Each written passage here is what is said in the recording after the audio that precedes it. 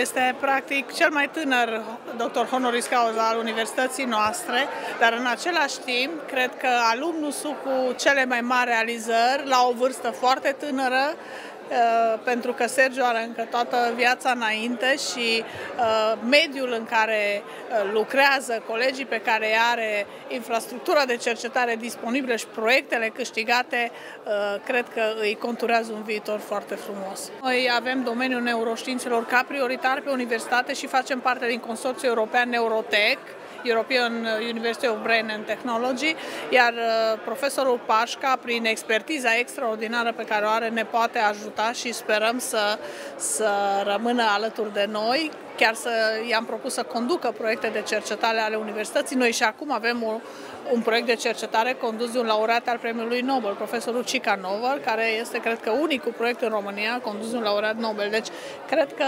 Sergiu sper să fie al doilea. Nu există onoare mai mare pentru cineva din mediul academic decât să primească onoarea propriei universități, propriei alma mater. Și ca urmare sunt uh, uh, deosebit de bucuros că s-a materializat acest eveniment uh, și mai ales că, așa cum discutam, e un grup uh, puternic de studenți aici uh, la medicină care văd că sunt încă pasionați să facă cercetarea și cred că ăsta e cel mai important lucru până la urmă, să încurajăm noua generație de studenți să facă cercetare, mai ales acum că sunt mai multe resurse și universitatea e mult mai conectată decât era acum 20 de ani. Din păcate, bolile psihiatrice sunt încă diagnosticate prin observarea comportamentului pacienților. Nu avem teste nu sunt, care sunt necesare pentru a pune un diagnostic, la fel cum nu existau nici în secolul XIX. Sigur că diagnosticul e mult mai rafinat al acestor boli astăzi decât era înainte, înainte și știm multe dintre cauzele acestor boli. Însă, Față de orice altă ramură a medicinei, psihiatria rămâne în urmă. Și cu toate acestea, unul din cinci uh, persoane suferă de o boală psihiatrică. Mecanismele acestor boli la nivel molecular nu sunt cunoscute și, în ultima instanță, uh, terapiile uh, care sunt curative uh, rezultă, în ultima instanță, din aceste studii moleculare. Și am văzut pentru cancer.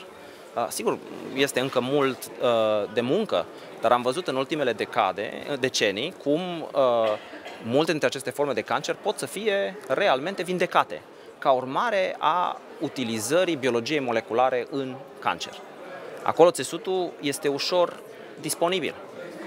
Pentru psihiatrie, organul de interes creierul nu este, din păcate, imediat disponibil pentru studiu și nu ar fi nici din punct de vedere etic.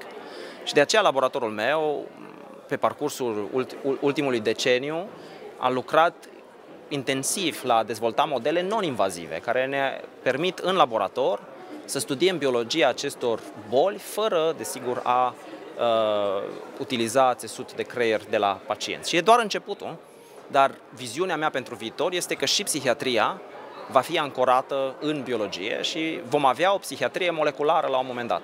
Cercetarea din România, pe lângă, desigur, finanțare, are nevoie de cât mai mulți tineri care să se pregătească în afară și să se reîntoarcă. Dacă ne uităm la modelele de succes al unor țări, ca de exemplu Corea de Sud sau Japonia, care și-au refăcut cercetarea în ultimele decenii, vedem foarte clar că unul dintre principalele mecanisme a fost de a trimite studenții să se pregătească în străinătate și apoi de a îi uh, atrage înapoi. Și asta e foarte important pentru că e important ca studenții să învețe să facă cercetare și să aibă modele în afară și apoi să vină și să le aplice aici. Și din fericire sunt mult mai multe mecanisme de finanțare astăzi a cercetării, mai ales ca, pentru că România e parte din Uniunea Europeană.